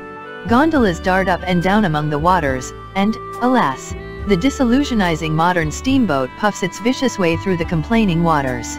About halfway in its course the canal is crossed by the famous Rialto Bridge, a single arch of unique and elegant construction, 74 feet in length, resting on 12,000 piles. This was built in 1588, subsequent therefore to the period of Venice's greatest glory. The ancient Rialto, which Shakespeare speaks of as the meeting place of the merchants, was not this bridge, but the exchange which used to go by the same name, and was long the center of trade and commercial life in this city. The Doge's Palace, Venice, Italy. At right angles to the Piazza San Marco, at the southeast end, runs the Piazzetta or Little Square, whereon is situated the former residence of the Doges, an ancient seat of government. Ruskin calls this the principal work of Venice.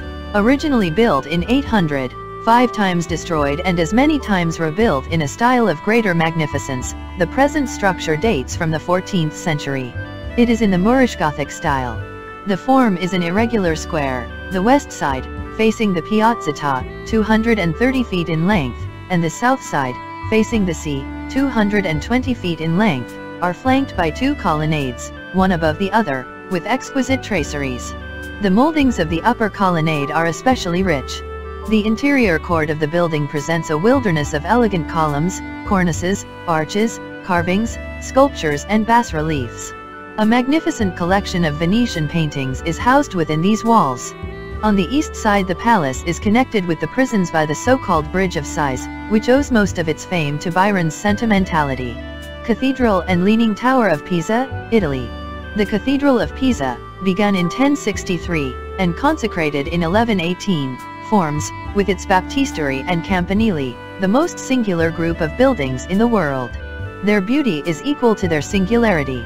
The church itself is constructed entirely of white marble, with black and colored ornamentation. An elliptical dome covers the center. The facade, adorned in the lower story with columns and arches, and in the upper story with four open galleries, is of exquisite and dainty beauty. So, likewise, is the baptistery, a circular structure, surrounded by half columns below and a gallery of small, detached columns above, the whole crowned by a conical dome. But the strangest effect of all is produced by the campanile, better known as the Leaning Tower, from the fact that it is 13 feet out of the perpendicular. That this obliquity was accidental and due to the sagging of the foundations is now generally agreed. Aside from this peculiarity the campanile would arrest attention by its winsome grace. Ponte Vecchio, Florence, Italy. There is no more picturesque bridge in the world than this. It spans the river Arno at a point where tradition asserts that a Roman predecessor used to exist. Certain it is, that bridges were built here and repeatedly demolished before Taddeo Gaddi erected the present structure of three arches. It is flanked by shops, which have belonged to the goldsmiths and jewelers since the 14th century, and is still the center of their trade. Above the roofs of these shops runs the Gallery of the Grand Duke, built as a secret passage between the Uffizi and the Pitti palaces. The bridge itself might easily be mistaken for a continuous street by the stranger, except for the vacant space over the central arch, which gives a glimpse of the city and the river on each side. Palazzo Vecchio, Florence, Italy. The ancient capital of the Republic of Florence, and subsequently the residence of Cosmo de' Medici, is known as the Palazzo Vecchio, or Old Palace. Begun in 1298, it is a striking example of the Florentine castles of the Middle Ages, with its enormous projecting battlements and its disproportionate bell tower, defiantly stuck upon the walls without regard to symmetry, and almost overhanging the battlements. It is situated in the Piazza della Signoria, the historic, as well as the commercial, center of Florence. The court is adorned with a fountain and sculptured columns. In front of the entrance is Bandinelli's group of Hercules and Cacus. At right angles to the left is the Loggia dei Lanzi, an open arcade, famous for its own beauty and for the sculptured masterpieces which it enshrines. A large and elegant fountain is on the right. Cathedral of Florence, Italy. This is generally known as the Duomo or Dome, though its official designation is Santa Maria del Fiore. Arnolfo de Cambio began it in 1298, he was succeeded by Giotto, and the dome was added by Brunelleschi. The latter is not only beautiful in itself, but is interesting as the first of the great domes of the modern world. A half-finished facade was destroyed by fire, and the deficiency was not supplied until 1875 to 1884. The interior is impressive, though almost entirely devoid of ornamentation. Outside the church, to the left, is the campanile, an exquisite work by Giotto, so exquisite that Charles V declared it ought to be kept in a glass case. In front is the baptistery, an octagonal building, surmounted by a dome. It was begun in 1352 and finished in 1358. Its chief attraction lies in the bronze doors, especially those by Lorenzo Ghiberti, which Michelangelo eulogized as worthy to be the gates of paradise. The capital, Rome, Italy. Anciently, the Capitoline Hill, in Rome, was surmounted by the temple of Jupiter Capitolinus and the citadel of the city. Hence, here was the head of the Roman state and the shrine of their religion. But temple and citadel have vanished and in their place is a group of buildings erected by Paul III from the designs of Michelangelo.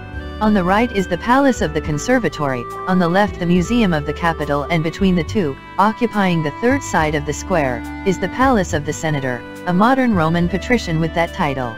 The photograph shows the best approach to the square up the grand staircase, known as La Cordonata, which in its present form dates from 1736.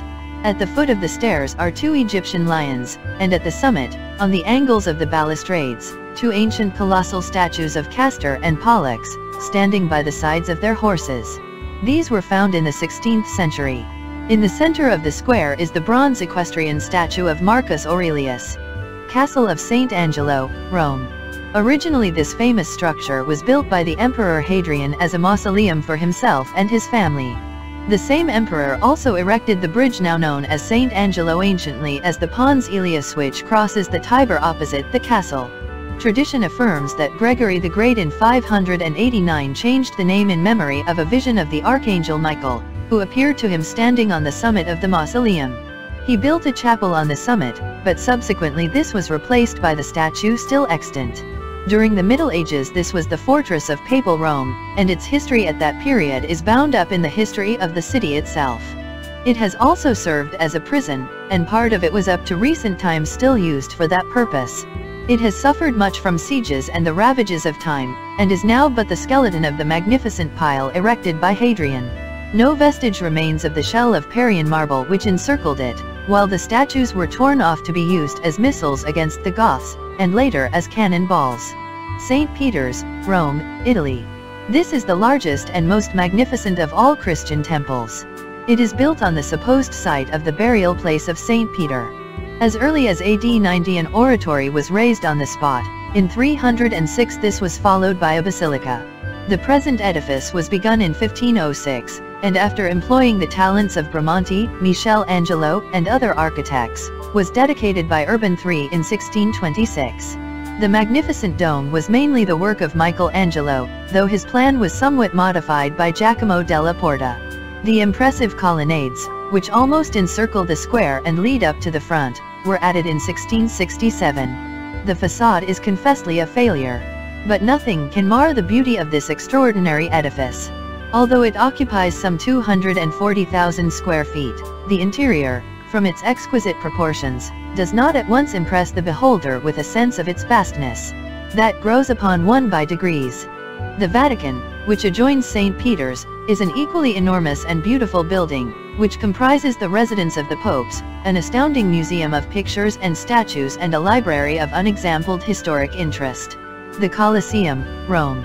This mammoth ruin, originally known as the Flavian Amphitheater, is the most magnificent relic of ancient Rome. Begun by Vespasian in AD 72, it was dedicated by Titus in AD 80 and was subsequently added to by Domitian. As the circus of the public games for nearly 400 years, it was the scene of gladiatorial conflicts and of the persecution of the Christian martyrs. After the triumph of Christianity it fell into neglect, and suffered continuous spoliation as a quarry for the material of new buildings. Finally, in 1750, Benedict XIV rescued it in its present condition by dedicating it to the memory of the Christian martyrs who had suffered therein. A cross in the middle of the amphitheater is continually visited by the pious. As it now stands, says Forsyth, the Colosseum is a striking image of Rome itself, decayed, vacant, serious, yet grand, half grey and half green, exact on one side and fallen on another, with consecrated ground in its bosom.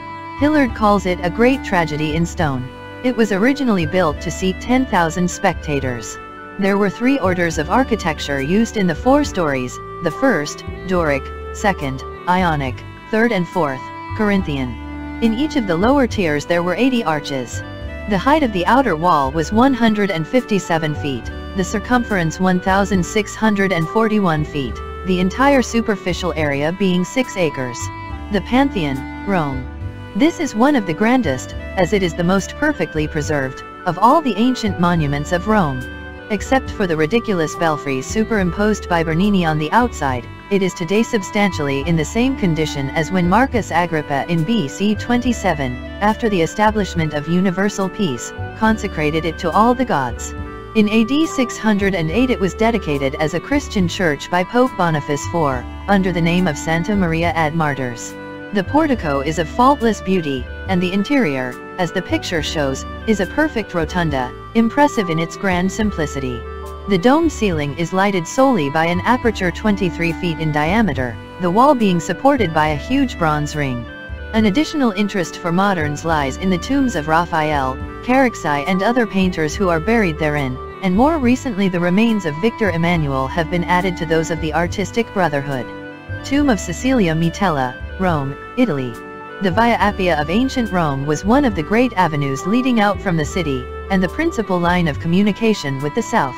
It is named after Appius Claudius Caecus, the censor, who began its construction in BC 312. Under Pius IX the ancient road was once more laid open. Today it presents the appearance of an avenue, 11 Roman miles in length, lined on each side by ruins, mostly of magnificent tombs, which were built by the patrician families of ancient Rome to the memory of their dead. The best preserved of these is the tomb of Cecilia Metella, the wife of Crassus, a circular tower 70 feet in diameter, resting upon a quadrangular base. The battlements upon it are medieval additions, made for the purpose of defense by the Caetanes. Forum Romanum, Rome, Italy. The ancient Forum of Rome exists only in ruins. That it lay at the foot of the Capitoline and Palatine hills in Rome is certain from the remnants that survive but the exact area it occupied and the true situation of the various buildings which once covered it are matters of dispute and uncertainty. Conspicuous among the ruins are three beautiful Corinthian columns of white marble belonging to the temple raised to Vespasian by Domitian, eight granite columns belonging to the temple of Saturn, a beautiful fragment, consisting of three Corinthian columns with a rich entablature, a solitary column which Byron calls the nameless column with a buried base but whose now excavated base reveals that it was erected to the emperor Phocas, the arches of Septimius Severus and of Titus, and a profusion of columns, pavements, foundations, and walls of other structures. Bay of Naples and Mount Vesuvius, Italy. Naples, in itself one of the least interesting of Italian cities, attracts the attention of the tourist by its transcendent beauty of situation and by the historical and picturesque interest of its surroundings. The Bay of Naples is the most glorious spot in the Mediterranean. Its circuit is more than 52 miles, including the islands of Ischia, at the northwest, and of Capri, at the south entrance. At its opening, between these two islands, it is 14 miles broad, and from the opening to its head, at Portici, the distance is 15 miles.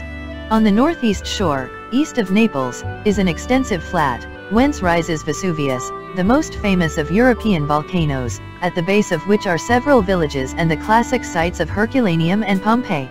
The Italian proverb, see Naples and die, is a tribute to the beauty of the city and its environment. Pompeii, Italy. The volcanic eruption which overwhelmed Pompeii on August 24, AD 79, has afforded us our most important, indeed, almost our only source of acquaintance with the domestic life of the ancient Romans. To be sure it represents one definite epoch of antiquity only, that of the glories of the early empire when Pompeii became the favorite retreat of Romans of the wealthier classes. But the study of the various phases of life at this epoch forms a pursuit of inexhaustible interest. The ashes from Vesuvius completely covered over the town to the depth of about 20 feet until the year 1748, when the accidental discovery of some statues led to the excavations. They have been continued up to the present time, and will not be completed for half a century more. Acropolis, Athens, Greece. This famous building, at once the citadel, the sanctuary, the treasury, and the museum of art of the ancient Athenian people, crowns the summit of the rocky height which abruptly rises 350 feet out of the plain in the midst of the city, inaccessible on all save the western side. The walls, built on the edge of the perpendicular rock, form a circuit of nearly 7,000 feet. These are of immense antiquity. They were founded by the Pelasgians, and the work was continued by Themistocles, Cimon, Valerian, and later, by the Venetians and the Turks. Here are the remains of three temples, the Temple of Victory, the Erechtheum, and the Parthenon, the latter the architectural glory of Athens, the only octastyle Doric temple in Greece, and in its own class the most beautiful building in the world.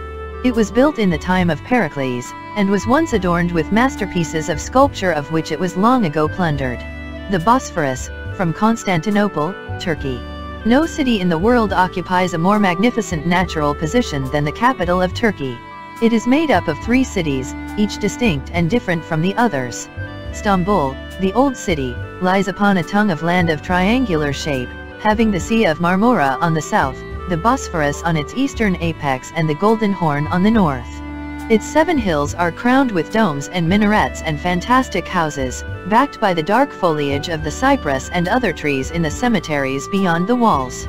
To the north is the European quarter, Galata being the business center, while Pera is studded all over with the splendid residences of the foreign ambassadors and sea, and lined along its shores with the palaces and gardens of the Sultan and the adjoining mosques. Scutari, the Asiatic quarter of Constantinople, is on the eastern side of the Bosphorus. Nowhere else is there a picture so bright, so varied in outline, so gorgeous in color, so heterogeneous in its component parts. The Mosque of St. Sophia, Constantinople, Turkey. This is the principal place of Mohammedan worship in the world. Anciently a Christian temple, built in 532 by Justinian, it was converted into a Muslim mosque in 1453 by Muhammad II, the conqueror of Constantinople. The building is in the form of a Greek cross, 270 feet long by 243 wide, surmounted by a flattened dome 180 feet high, with several smaller domes and minarets. The style of architecture is Byzantine. The exterior is not as imposing as the interior, which even now is rivaled by few Christian churches, and at the time of its erection made this masterpiece of Byzantine architecture the greatest temple in the world. Well may Justinian have exclaimed, I have surpassed thee, O Solomon. The changes made by the Muslims are greater inside than out. In the interior the mosaics have been partially covered up and replaced by inscriptions from the Quran, but there is no structural change. Outside most of the older annexes have been swept away and replaced by Turkish buildings, lofty minarets rise at each corner, and the crescent replaces the cross on the dome. The Sphinx, Egypt. This unique monument, situated near Cairo, in the neighborhood of the pyramids, is one of the most characteristic and probably the oldest of Egyptian remains. As such it is the oldest monument in the world. Recent researches show that it is more ancient than even the Pyramid of Cheops. Originally it was a recumbent figure, representing an androsphinx, or man-headed lion, 188 feet 9 and 1 half inches in length, hewn out of the solid rock. Steps led down to its front, where there was a sanctuary and tablets. But the sands covered all save the head, shoulders, and back, which rose from the surrounding desert with a startling and almost fearsome abruptness. In this condition the monument was allowed to remain for centuries. But more recently excavations have been started to restore it to its pristine state, and before long the entire colossal figure will be bared to view. Pyramids of Giza, Egypt. Giza is about 12 miles from Cairo, it contains the largest and most famous of those mysterious sepulchral monuments known as pyramids, which the ancient Egyptians were fond of raising. Three of these are especially famous the Great Pyramid called the Splendid, which is the mausoleum of Cheops, and is 450 feet 9 inches high, the scarcely inferior Pyramid of Chephren, and the Pyramid of Mycerinus, which is much smaller. These mountains of masonry, built of stones whose huge size perplexes modern engineers to account for the method of their handling, were designed by the kings of the early Egyptian dynasties as their tombs. Their leading idea was durability, and by concealment of the entrance, and tortuous and complicated passages, they strove to baffle the Vandal. Yet all these tombs have been shamefully profaned. Ruins of Karnak, Egypt. Most guidebooks advise the traveler in Egypt to leave Karnak to the last, as the crown of his explorations. It is, indeed, the most marvelous ruin along the Nile. Yet, though in ruins, it preserves all its original character. It lies amid the ruins of Thebes. It was intended for a temple. But it is not so much a temple as a city of temples, of palaces, courts, columns and obelisks enclosed by a great wall of circuit about a mile and a half in circumference. The Great Hall alone, which is the largest of all the monuments, measures 340 feet by 170. The Temple of Amenophis, here represented, is one of the finest of the smaller remains. Church of the Holy Sepulchre, Jerusalem. This church, situated on a hill called Acra, purports to be built over the site of Calvary and the actual tomb of Jesus. Not only that tomb itself, but the tombs of Joseph and Nicodemus, the places where the Savior appeared after his resurrection to Mary Magdalene and to Mary, his mother, where Constantine's mother found the true cross, and C, and C, are pointed out to visitors. Not everybody accepts the genuineness of the site. But, at least, it was for the reconquest of the Holy Sepulchre that the Crusades were instituted, and for 1500 years kings and queens, knights and pilgrims have knelt and prayed here. The church is a Byzantine structure, which was commenced in 1103 AD, was partly destroyed by fire in 1808, and has since been restored. Some parts of it, however, are said to date back to the Empress Helena. Garden of Gethsemane, Jerusalem. No spot in the whole world could have more interest for the Christian traveler than the Garden of Gethsemane, the scene of our Lord's agony on the eve of his crucifixion.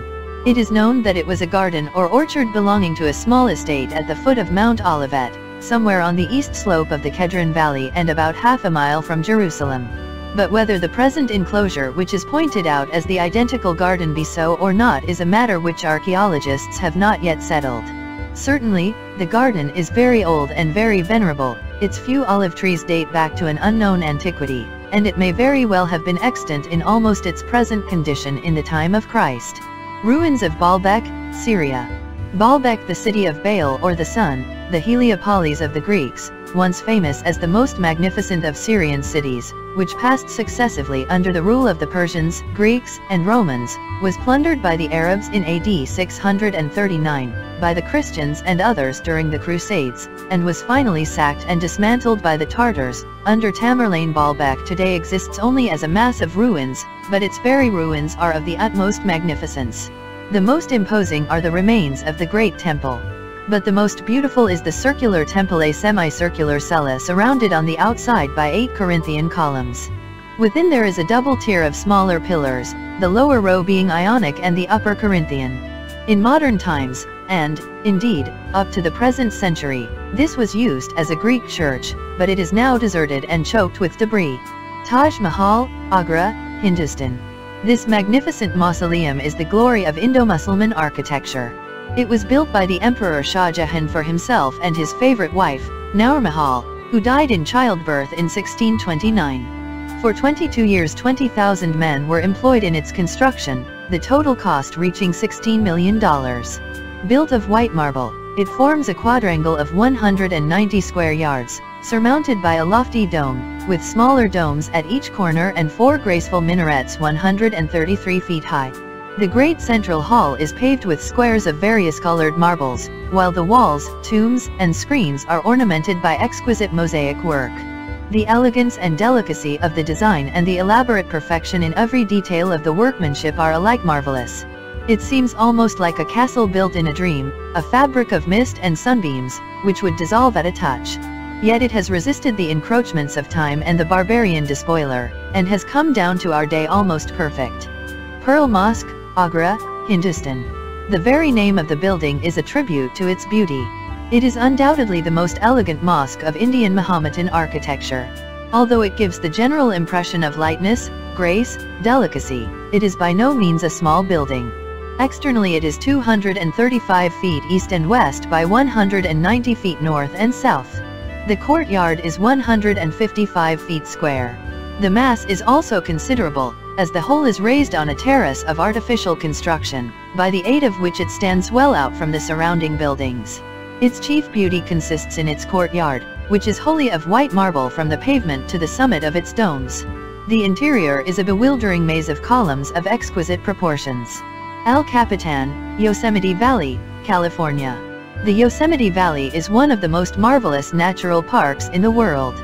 About 9 miles in length and from 3 quarters of a mile to a mile and a quarter in width, it is sunk almost a mile below the level of the surrounding country. High granite walls rise sheer and inaccessible on each side. Cataracts of the wildest and strangest beauty abound. Flowers of every hue cover the ground. Where all is wonderful it might seem hard to select. Yet by common consent the surpassing feature of the valley scenery is the Great Cliff, known as El Capitan or the Captain. It is doubtful, says Professor J.D. Whitney, if anywhere in the world there is presented so squarely cut, so lofty and so imposing a face of rock. Not indeed that it is the highest of the gigantic brotherhood. Its 3,300 feet are exceeded in its own vicinity by over thousands of feet. But no other rock, here or elsewhere, has so majestic and awe-compelling a presence. Big Trees, California. Rigid scientists call these trees, Sequoia gigantea. In England they are sometimes known as Wellingtonia, in America as Washingtonia. But the pride of science and of patriotism have had to bow to the will of the populace, which has been satisfied with the simpler and therefore more energetic title of big trees. They are confined to the western portion of the California range, occurring in detached groups or groves at an altitude of from 4,000 to 5,000 feet above the sea. Some of these vast vegetable columns are upwards of 30 feet in diameter, and from 3 to 400 feet in height. One of the trees in the Mariposa Grove, represented in the accompanying engraving some 25 feet in diameter stands directly arching the roadway, and a miniature tunnel has been cut through it which admits of the passage of a four-horse stagecoach. Geysers, Yellowstone Park, Wyoming. The geyser region in the Yellowstone occupies some 30 square miles. Within this comparatively limited area is a most stupendous exhibition of hot springs, water geysers, mud geysers, and steaming cauldrons of boiling water. No two of the geysers are alike. The grotto simply churns and makes a great noise. The others go off at various intervals, some every hour, some all the time and some once a month, some on alternate days, yet the day they are active going over 90 minutes. Nor is their style of action the same. Some play with labored pumping, others throw an unbroken stream, some wear themselves out in a continuous effort, others subside only to recommence again repeatedly. An eruption may extend from 2 to 20 minutes, the approximate time occupied by the grand, or even to 1 hour and 20 minutes, a period that the giant has been timed to play. The Grand is the largest geyser in the world, shooting a vast column of water over 200 feet into the air. Grand Canyon, Yellowstone Park. The Yellowstone Park is one of the great natural marvels of the world. Within a compass of 100 square miles there are here gathered the loveliest valleys, the grandest canyons, the most marvelous mountains, lakes, rivers, springs, and cascades. In addition there are all sorts of natural phenomena, sulfur mountains, a mud volcano, petrified forests, and over 10,000 active geysers, hot springs, solfataras and boiling pools. Greatest of all the sights is the Grand Canyon, a ravine varying in depth from 1,000 to 2,000 feet. The shelving sides of precipitous crags slope down, presenting an endless variety of form and color, until they meet at the bed of the Yellowstone River which flings itself impetuously along to meet the lake. A great gulch let down into the eternities, such is the opinion of DeWitt Talmage on this miracle of nature. Cliff Dwellings, New Mexico. Cliff Dwellers is the name given to more or less savage people in the past who inhabited dwellings built on projections from the face of cliffs, or cut out of the solid rock. Sometimes the houses are four stories high, and divided into many rooms. Often they are not to be distinguished from the rest of the cliff. Such dwellings are found in various parts of the world, but nowhere are they so abundant and so interesting as in Arizona, New Mexico, and California. It is generally supposed that the American cliff dwellers were the ancestors of the Pueblo Indians. In some respects the cliff dweller appears to have been better off than his modern descendants. The canyon walls sheltered him from cyclones and the overhanging shelves of rock protected him from attack from above. A series of cliff villages, lining the walls of Walnut Canyon, in northeastern Arizona, for a length of 5 miles, was discovered in 1884. Masonic Temple, Chicago. For a long time it was held that Philadelphia had the finest Masonic temple in the world. Now that honor belongs to Chicago. but it has only belonged to it since 1890, when the gorgeous new building was begun at the corner of State and Randolph Streets. The site measures 170 feet on State Street and by 114 on Randolph. Every inch of this space is covered by the building, whose 20 stories tower up to the height of 265 feet. It rests on cement and iron foundations, and its superstructure is of steel. The first three stories are faced with red granite from Wisconsin, the remainder with gray brick that is indistinguishable from the granite. An immense granite arch in the center of the State Street front forms the entrance, and opens into an interior court, faced from bottom to top with different colored marble. The first 11 stories are fitted up for shops, from the 11th to the 16th inclusive are business offices, while above the 16th floor everything is devoted to masonry. Niagara Falls. The most stupendous cataract in the world is that formed in the Niagara River, 4 miles below Grand Island.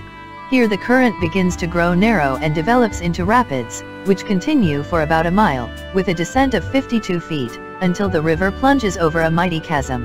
Goat Island, at the very verge of the cataract, divides it into two sheets of water the Horseshoe, or Canadian Fall, with a descent of 158 feet, and a width of about 2640, and the American Fall, 162 to 169 feet deep, and about 1000 wide. The volume of water thus precipitated is about 15 million cubic feet a minute. Nearly nine-tenths of this passes over the Canadian Fall. For some distance below the falls there is still water, the mass which has hurled itself into the abyss sinking and only reappearing two miles below, where the Whirlpool Rapids begin. The Thousand Islands, Canada. This, the largest group of river islands in the world, lies in an expansion of the River St. Lawrence at its emergence from Lake Ontario. New York State is on one side and the province of Ontario, Canada, on the other. The name is not an exaggeration. On the contrary, the group consists of about 1500 rocky islands, remarkable for their great and varied beauty. They are of all shapes and sizes, some just peeping above the surface of the waters, others extending several miles in length, some wild and bare and rocky, others covered with the most luxuriant foliage. Hence, a trip through the St. Lawrence River at this point is full of the most bewildering yet enchanting surprises. Victoria Bridge, Montreal, Canada. Montreal is situated on the south side of the island of the same name, at the confluence of the Ottawa and the St. Lawrence rivers. To connect it with the mainland the Victoria Bridge was thrown across the St. Lawrence. Work was begun in 1854. In 1860 the bridge was formally opened by the Prince of Wales during his tour through Canada and the United States.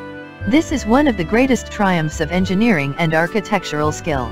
The total length is nearly 2 miles, or, to be exact, 9,194 feet. It rests upon 24 piers and two abutments of solid masonry. The central span is 330 feet long. The Capitol, Washington, D.C., a stately and magnificent building devoted to both branches of Congress the Senate and the House of Representatives as well as to the United States Supreme Court and the Library of Congress. It stands upon an eminence commanding a beautiful view of the city, and itself forms the most impressive feature in the landscape. The center building of freestone is flanked by two wings, mainly of marble, and crowned by an iron dome, painted white. From the ground to the top of the 19-foot Statue of Liberty, which surmounts the dome, is 307 and a half feet, the diameter of the dome is 135 and a half feet. Thus only four domes in Europe can surpass it, St. Peter's at Rome, St. Paul's in London, St. Isaac's in St. Petersburg, and the Invalids in Paris.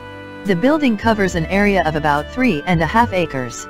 Its total cost has been over $13 million. The cornerstone was laid by Washington in 1792.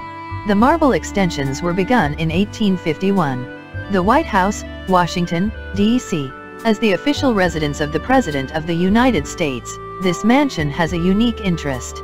It is not in itself, however, a pretentious or imposing structure. Yet it has some elegance in its very democratic simplicity. Built of freestone, like the original Capitol, and painted white like that, its color has given it its name. The model which the architect had in view was the palace of the Duke of Leinster in London, and he has followed his prototype very closely. The cornerstone was laid in 1792. The building was first occupied by President John Adams in 1800. It was burned by the British in 1814, and restored and reoccupied in 1818. Since that time there have been staccato clamors for a more magnificent entourage for the Chief Executive Officer of the United States, but nothing further has been accomplished. Independence Hall, Philadelphia. This plain, but substantial brick building, which stands on Chestnut Street, Philadelphia, is ever memorable as the birthplace of the American Republic. Here the General Assembly of Pennsylvania gave way to the Continental Congress. Here George Washington was elected commander of the American forces, June, 1775. And here, on July 4, 1776, the Declaration of Independence was adopted by Congress. Four days later it was read from before the building to an excited and exultant multitude. The halls have been restored as far as possible to their original condition. The East Room, where the Declaration was signed, is ornamented with portraits of the signers and the West Room is a museum of Revolutionary and other relics. The famous Liberty Bell, which was rung as a signal to the people that the Declaration had been adopted, is now suspended under the tower in full view of the public. The building dates from 1729 to 34. The East River Bridge, between New York City and Brooklyn, more familiarly known as the Brooklyn Bridge, is a massive suspension bridge, the largest in the world, which connects New York with Brooklyn. Its colossal towers and ponderous cables loom up conspicuously before the stranger who approaches New York from the riverside. Begun in 1870, it was opened for traffic May 24, 1883, at a total cost of $15 million. The whole length of the bridge is 5,989 feet. From high water mark to the floor of the bridge is 135 feet. The central span, itself measuring 1,595 and a half feet, is suspended to four cables of steel wire, each 15 and 3 quarter inches in diameter. The width of the structure is 85 feet, which includes a promenade for foot passengers, two roadways for vehicles, and two railway tracks on which run passenger cars propelled by a stationary engine from the Brooklyn side.